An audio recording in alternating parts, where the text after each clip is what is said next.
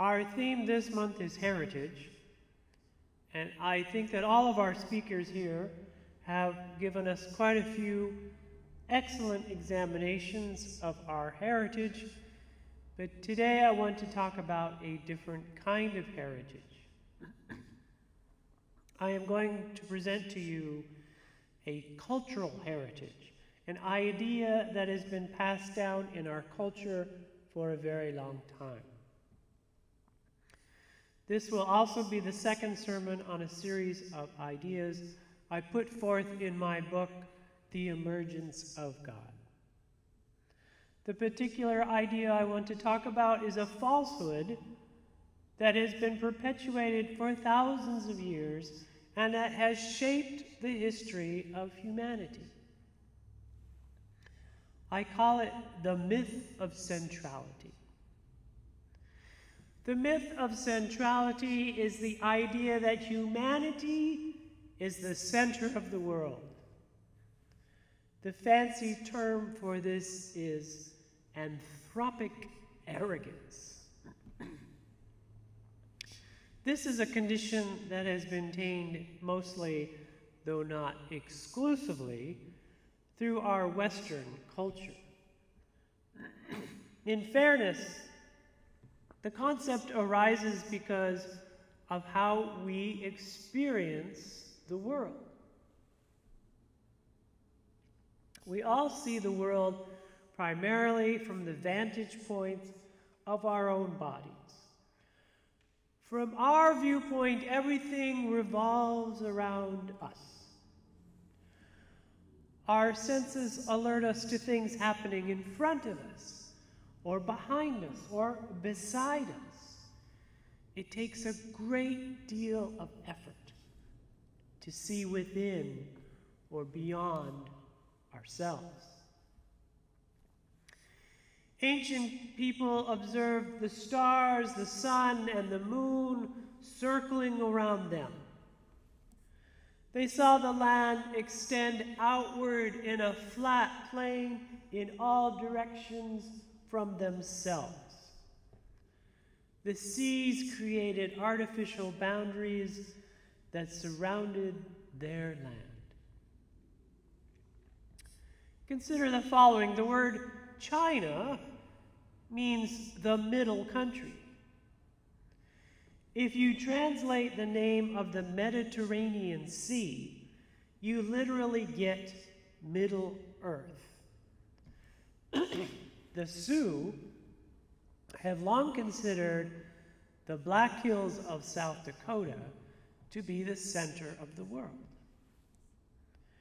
In J.R.R. Tolkien's stories, Middle Earth is the land of the humans. Mountains have often been seen as a connection between earth and heaven in the center of the world. There are several such sacred mountains in the world. They are the axis mundi, the world pillar, or the cosmic center. They include Mount Kailash in India, the Kunlun Mountains in China, Mount Fuji in Japan, Mount Uluru in Australia, Mount Olympus in Greece, or the mystical Mount Meru in Asia. Humanity has also constructed their own world pillars, such as the Egyptian pyramids or the ziggurats in Mesopotamia. Some trees have been given the same honor, including the mystical Celtic tree named Yggdrasil, the banyan tree sacred to the Hindus, the bo tree of India, where the Buddha gained his enlightenment, or the tree of knowledge so central to the story in the book of Genesis. Which brings us around to the fact that the dominant religious traditions of Western culture have perpetuated this idea of human centrality. From the biblical book of Ezekiel, we read, quote, Thus says the Lord God, This is Jerusalem. I have set her in the center of nations, with all countries around her. Unquote. Cities like Jerusalem, Rome, and Mecca were named the center of the world. When planets in our solar system were discovered, we assumed that our little planet was the focal center of all of them, including the sun. In scientific terms, this is known as the geocentric model of cosmology. This theory was prevalent well until the 16th century when Copernicus claimed that the sun was in fact the planetary center. This idea was so heretical that Copernicus waited to publish his findings until just before he died. This heliotropic model was condemned by the Christian church as a heretical concept. When Galileo confirmed the findings of Copernicus, he was condemned by the Inquisition for heresy, was forced to recant, and was confined to his home for the rest of his life. When this dangerous idea was finally more broadly accepted, we learned that ours was not the only solar system. And it was Edwin Hubble who discovered that ours was not the only galaxy either. But this led us to the galactocentric model of the universe because, of course, we had to be the center of all the cosmos. This assumption was made because it appeared that all the other galaxies were moving away from us. However, even this model has been proven to be incorrect. The easiest way to understand this is through the use of a complex scientific instrument called the balloon. The surface of a balloon experiences expansion in all directions. There is no center. No matter where you look on this balloon, it appears as if, as you blow it up, everything is moving away from you. This long standing heritage of centrality has had some debilitating consequences in our culture. For one thing, it can create a sense of us versus them, or good versus bad. If we believe that our little center of the world is the center, then we can consider those other people outside of this sacred invisible circle we have created. Those inside the circle are the good people, and those outside are the bad people. In versus out, good versus evil, the right people versus the wrong people, it's all the same thing. In the central circle, power structures emerge to maintain the boundary of the one true people. Even more focus is concentrated on the center of the center, who is the leader.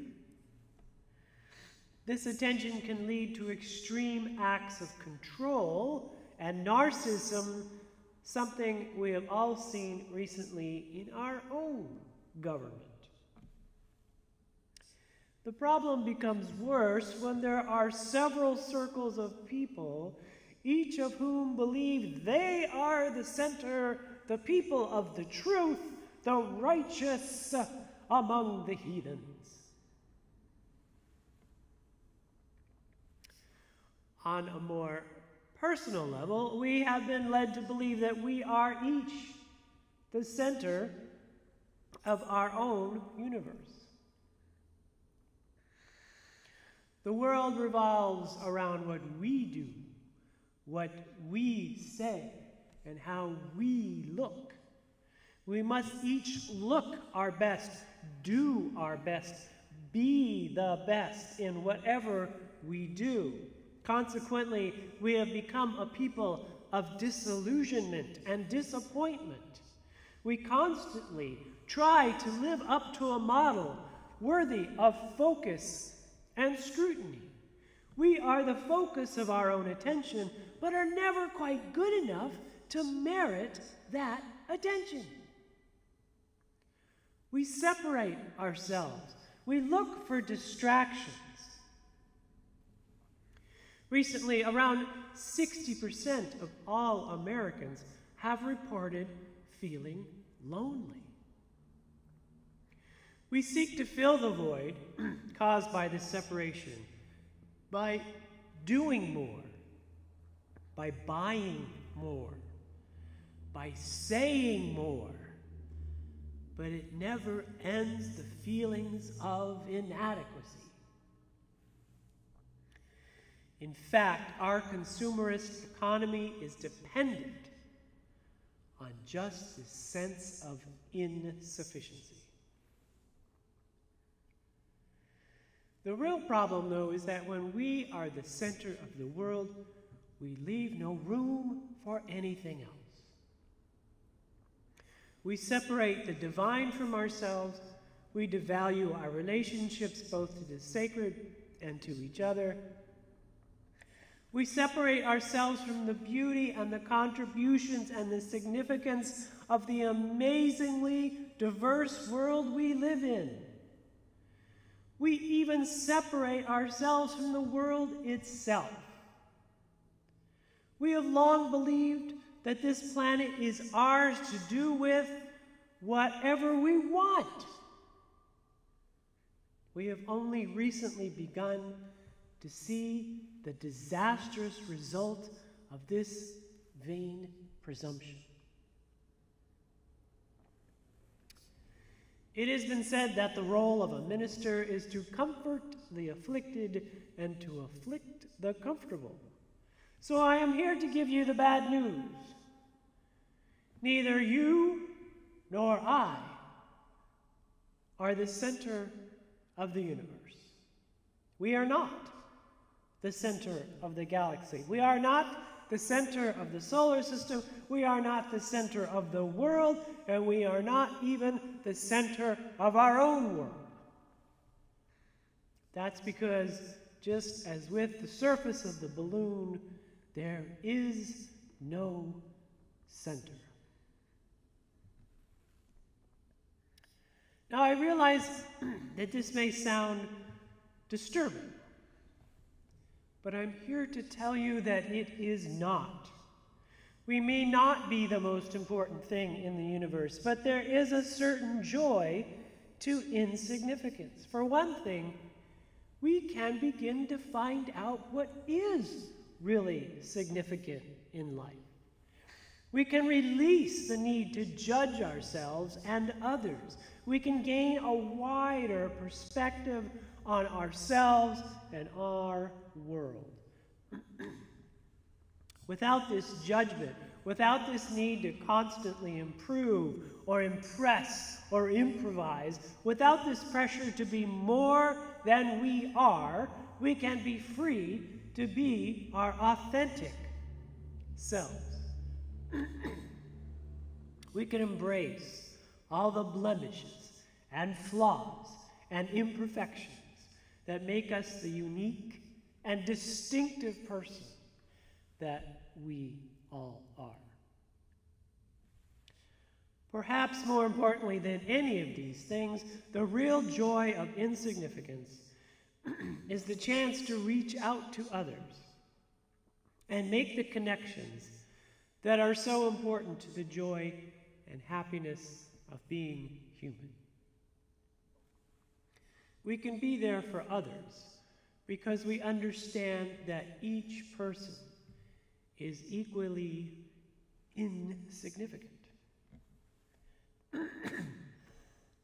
we can both offer assistance and ask for help when needed because there is no longer a separation between those who deserve to be in and those who are not.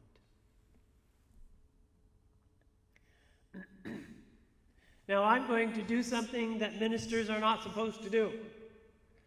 I'm going to tell you that everything I just said was false. That's right, false. It was all wrong, bogus, baloney. It was all a lie, a polemic ruse.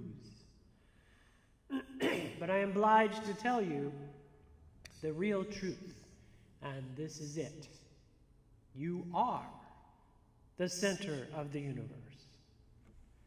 That's right. You are the absolute center of everything. But so is the person next to you, and the person in front of you, and behind you, as is every person in Barre, or Berlin, or Bombay, or Beirut. Even now, there are wars raging in the Middle East and Ukraine and Africa over land and religion and power because each side feels they have a certain right over others. the truth is that the center is everywhere, at every point, and in every place and person. That means you are significant, special, and exceptional, just like everyone else. No more than another. All these centers are interconnected like leaves on a tree or waves in an ocean. Each one is no less important. Each one is deserving of love and care and respect.